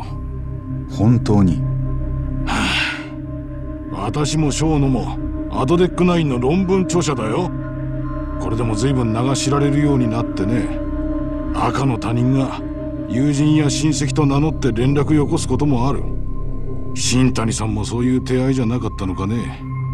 新谷を殺害した犯人はカムロ町でモグラと呼ばれてます。これまでに他にも3件。ヤクザの目をえぐって殺してる。その事件はご存知ですか？ニュースくらいは。モグラがこちらのセンターと関係してそうなことは。は思い当たることは何もないね。そろそろいいだろう。もう協力できることはないよ。あのお待ちください。